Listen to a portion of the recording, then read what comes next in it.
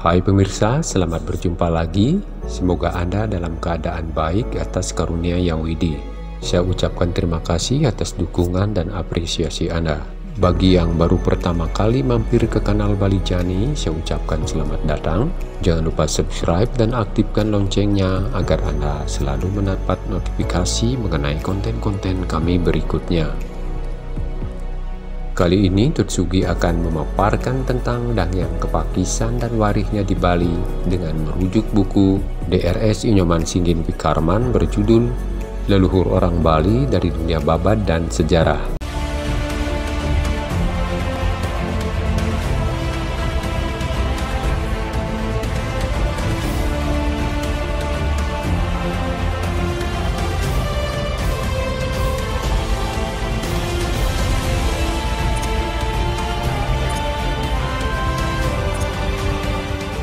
Dan yang kepakisan adalah putra Empu Tantular yang keempat. Seperti kita ketahui, Empu Tantular adalah seorang pujangga yang menulis kitab Sutasoma dari mana semboyan Bhinneka Tunggalika berasal. Selain itu, beliau adalah guru Mahapatih Amengkubumi Gajah Mada. Atas jasa-jasanya, Gajah Mada kemudian mengangkat putra-putra beliau untuk menjadi adipati di daerah-daerah yang baru ditaklukkannya.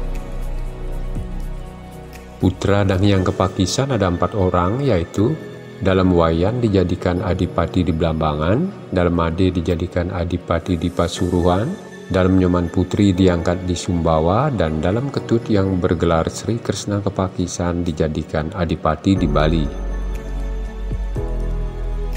Dalam Sri Kresna Kepakisan tiba di Bali pada tahun 1352 Masehi.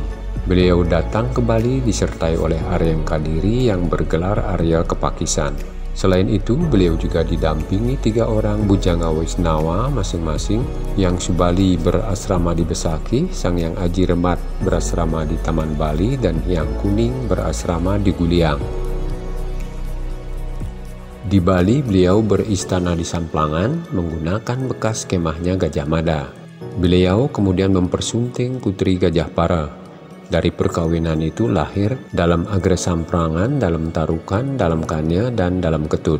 Sedangkan dari perkawinannya dengan Putri Arya Kutawaringin memperoleh putra yang bergelar Idewo Tegal Besung. Dalam Sri Krishna Kepakisan adalah pengikut sekte Waisnawa, mungkin saja dari subsekte Bhagawanta, mengingat nama Krishna yang beliau pergunakan. Karena itu wajarlah kalau beliau dikelilingi oleh para bujanga Wisnawa, baik bujanga Wisnawa yang sudah ada di Bali maupun yang menyertai beliau. Pernah sekali waktu dalam Sri Krishna Kepakisan ingin kembali ke Bajapahit karena beliau tidak mampu menumpas pemberontakan orang-orang Baliaga di Bali.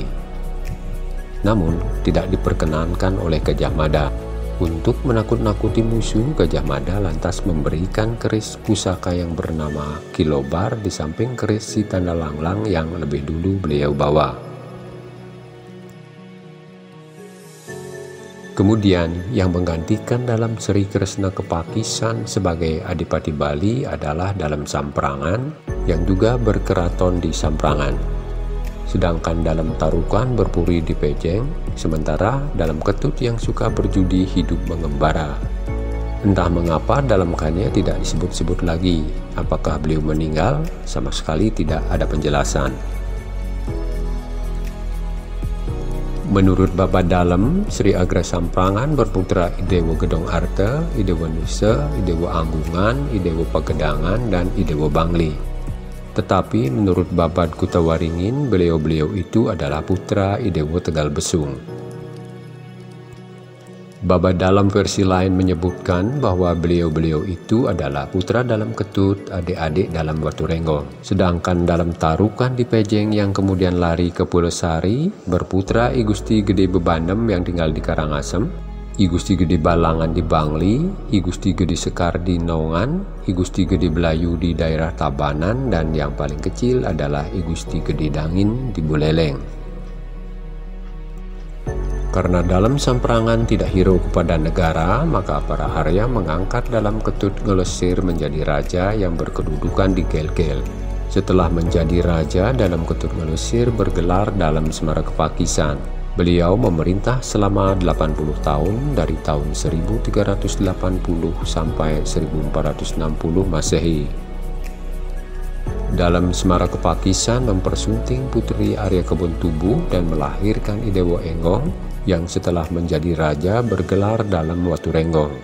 Menggantikan ayahnya dalam Watu Renggong memerintah selama 90 tahun dari tahun 1460 sampai 1550 Masehi. Beliau berputra empat orang yaitu Idewo Pemayun yang juga disebut dalam Bekung, Idewo Ayu Laksmi, Idewo Anom Sagening, dan Idewo Ularan. Kecuali dalam Bekung, semua putra-putra dalam Watu Renggong memiliki keturunan. Dalam Segening menurunkan 17 orang putra, semuanya memakai identitas Segening. Mereka adalah Idewo Rangnegoang dalam Dimade, Idewo Anom, Idewo Karangasem, Idewo Belayu, Idewo Semerta, Idewo Lebah, Idewo Sidan, Idewo Kabetan, Idewo Besawah, Idewo Kulit, Idewo Bedulu, Idewo Pemeregan, Idewo Cau, Idewo Mangis, Igusti Panji Sakti, dan Igusti Mambal.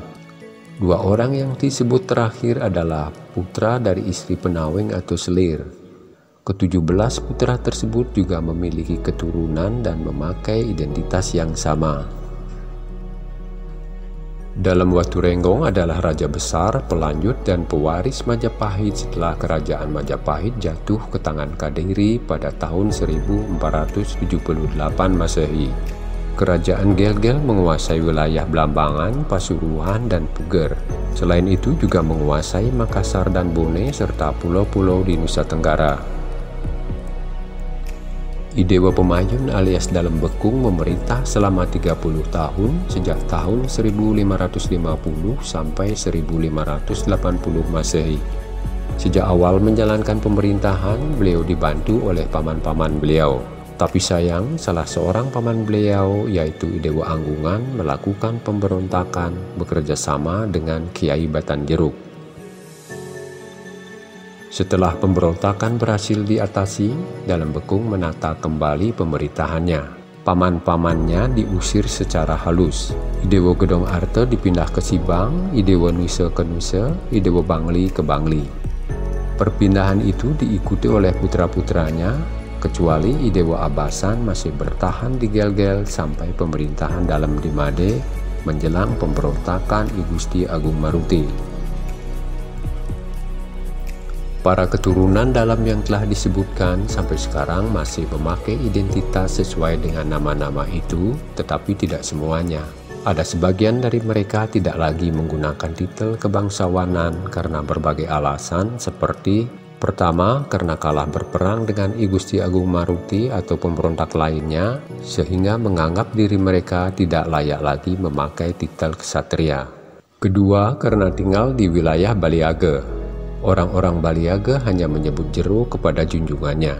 Idewa Abasan yang tinggal di Malet misalnya disebut dengan panggilan Jero Made Abasan. Ketiga, karena diturunkan dengan alasan membuat suatu kesalahan besar.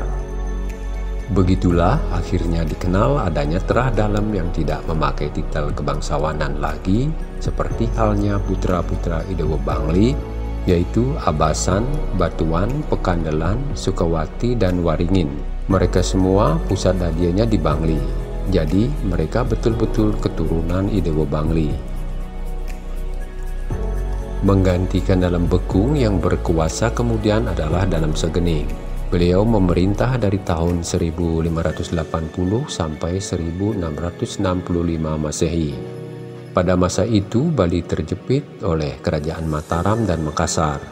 Mereka merebut wilayah jajahan Bali tetapi tidak dapat menguasai Lombok sampai Belanda merampasnya pada akhir abad ke-19. Pun Belambangan direbut kembali oleh putranya I Gusti Panji Sakti sampai akhirnya dikuasai Belanda juga.